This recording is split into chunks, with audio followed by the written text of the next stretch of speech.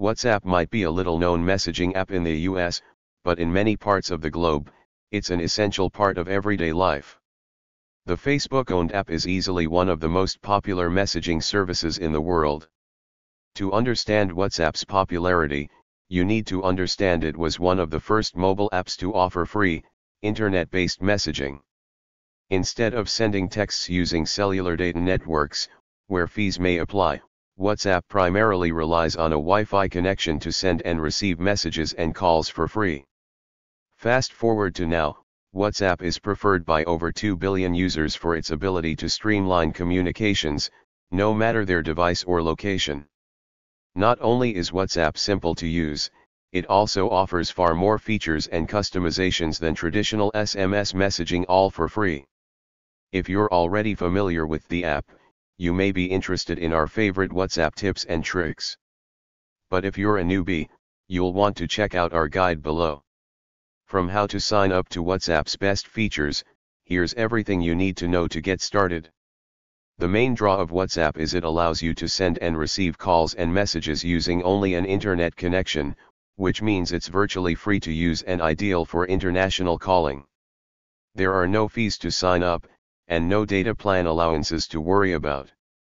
While WhatsApp is similar to other messaging services like iMessage or Messages by Google, it still offers a few key advantages, the most significant being cross-platform functionality, between Android and iOS, for example.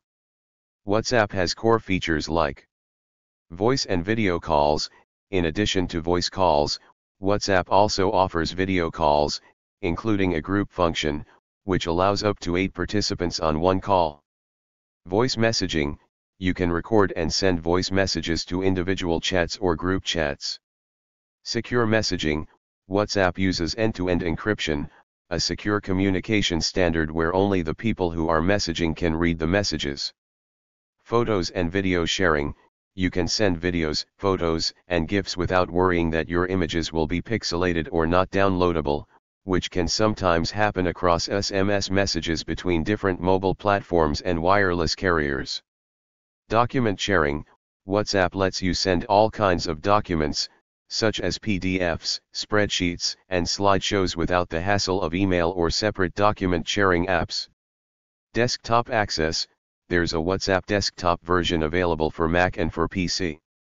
WhatsApp Business, WhatsApp's dedicated business account is designed so entrepreneurs can showcase their products and connect with their customers on a platform that's convenient and familiar.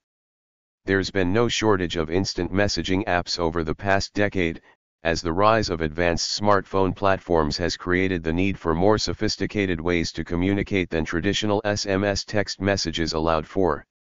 In fact, the Apple App Store and Google Play Store are both littered with apps that promise to be the next big thing in mobile communications. Yet, many of those fell by the wayside as they failed to achieve the critical mass of users needed to make them useful. After all, apps designed for communicating with others don't do you much good unless enough folks are using them. Luckily, WhatsApp made our list of the best iPhone apps and our infamous list of the best Android apps out there. While it's far from the only game in town, one app that soared to the top of the digital food chain is WhatsApp. What began in early 2009 as a small project by two former Yahoo engineers to replace SMS struck a chord, acquiring a quarter million users in its first year and growing to 400 million by the end of 2013. Since its 2014 acquisition by Facebook, now Meta, WhatsApp has reached a point where it's now become the de facto standard for cross-platform messaging worldwide, with over 5 billion installs from the Google Play Store and 2 billion active monthly users. At its most basic level, it's simply a chat app for exchanging messages with your friends, not unlike the SMS text messaging that's built into nearly every mobile phone. However, the point of WhatsApp was to replace SMS, and the lightly media-capable MMS, with a new platform that could overcome the limitations inherent in the archaic carrier-based messaging services. SMS was, and continues to be, stuck in the dark ages of technology, with 160 character limits and no support for anything other than pure text. Its younger brother, MMS, allows for the exchange of small bits of media, which amount to low-resolution photos and sound bites, but it's effectively useless for exchanging videos and still lacks things like read receipts and status indicators. WhatsApp wasn't the only app to try to address these limitations. Apple successfully did something similar in 2011 with its popular iMessage platform, and Google took several stabs at it with a variety of messaging apps. Still, its attempts felt rudderless and never gained much traction, at least not until it more recently embraced the RCS messaging standard. Nevertheless, while Apple created a solution for its own club of iPhone, iPad, and Mac users, and Google floundered about, WhatsApp created a platform-agnostic solution that just worked. While it's still tied to mobile phones, it works equally well on both the iPhone and Android platforms, and there are Mac and Windows apps and even a web client that works in any modern browser. Much of the magic of WhatsApp is in its elegant simplicity. Like SMS/MMS and Apple's iMessage, there are no accounts to set up, and communications are based entirely on phone numbers. You don't need to worry about knowing nicknames or usernames to communicate with your friends, you only need a phone number. Further, there's nothing to log into beyond confirming your mobile number the first time you set up WhatsApp on a new device. The extent of your user profile is a name, photo, and brief 140 character about status. While this design means you need a mobile phone number to use WhatsApp, that's kind of the point and one of the likely reasons the platform has become so successful.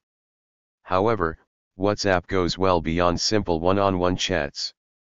You can exchange all sorts of rich media from full-resolution photos and video clips to documents, audio recordings, stickers, and animated GIFs. You can also create group chats with up to 1023 of your closest friends and use WhatsApp to place audio and video calls to any other WhatsApp user. WhatsApp is available in mobile versions for both Android and iPhone, you can find it on the Google Play Store or Apple App Store. Note that WhatsApp does not provide a version of the app that's optimized for Android tablets or iPad. WhatsApp requires Android 4.1 or newer or iOS 12 or newer, so compatibility shouldn't be a problem. There are also WhatsApp desktop apps for both Windows and Mac OS.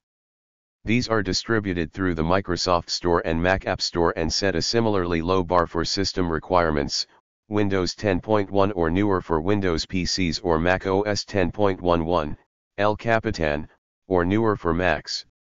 As of this writing, the version of WhatsApp Desktop available on the Mac App Store is simply a wrapper for WhatsApp Web.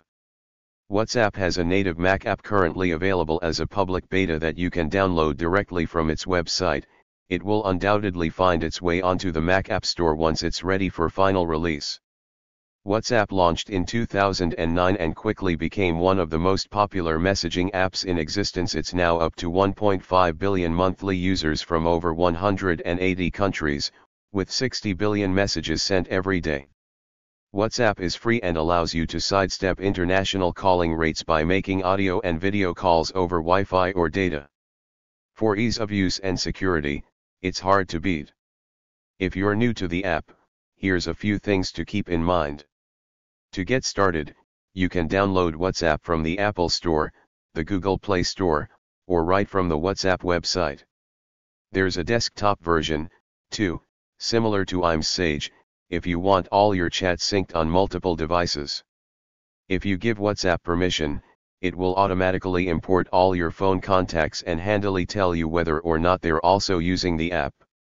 WhatsApp and Facebook Messenger share some features no surprise there, since Facebook bought the app for $19 billion in 2014.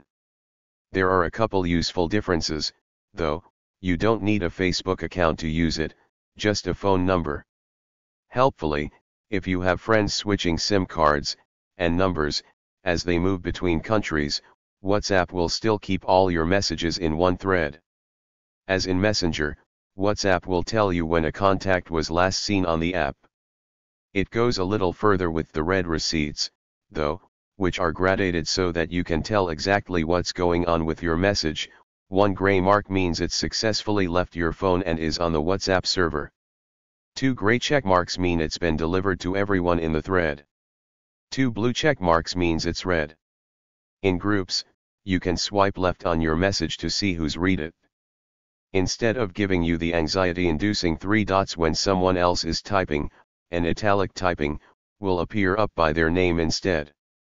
This is particularly useful in group chats, when multiple people might be going at once.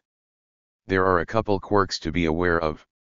Unless you go in and turn the setting off, WhatsApp will automatically download all media photos, videos to your phone library, including the stuff that other people send to you and the groups you're in. That can eat up storage limits fast, and can also result in other people's selfies cropping up in your photo library. To turn this off, go to Settings Chats, and then unselect Save to Camera Roll. You should also pay attention to whether you're using your Wi-Fi or data to download messages. Video and photo messages can use higher amounts of data, so you might want to wait until you're on a wireless connection. The biggest thing WhatsApp has going for it is its privacy policy. All messages are sent using end-to-end encryption meaning that only the sender and recipient can read the messages. If you feel like verifying it, you can go into your chat with another user, click their name, and then under contact info you'll see an encryption tab.